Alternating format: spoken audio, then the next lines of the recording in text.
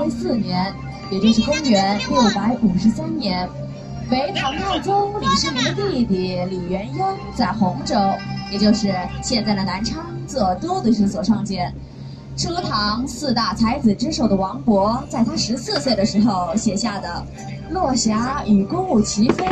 秋水共长天一色”的诗句，相信在座的各位也是耳熟能详。他伴随着滕王阁走过了一千多年的历史经费。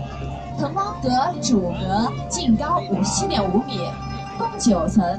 它的下部呢是象征着古城墙的十二米高台座，分为两级。台座以上的主阁采取的是明三暗七的格式，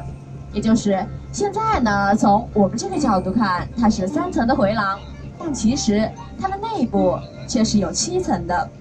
它是赣江东岸两画中最为突出，也是最有特色的，主要以凸显老南昌豫章十景之一腾格秋风的碧瓦丹柱和画栋朝飞的古瓷视觉风貌。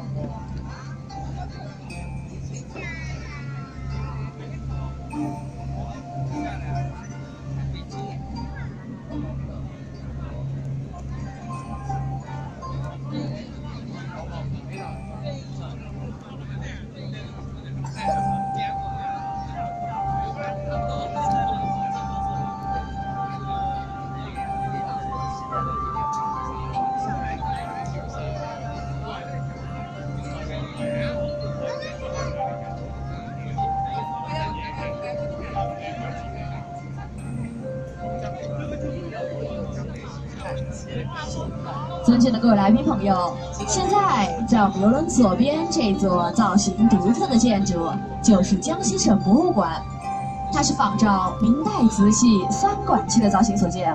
是由江西省设计研究总院负责设计的。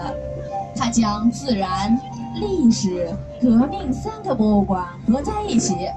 组成一座国内一流的大型综合性博物馆，这在全国尚属首创。如果你想详细了解我们江西，不妨去到省博物馆看一看。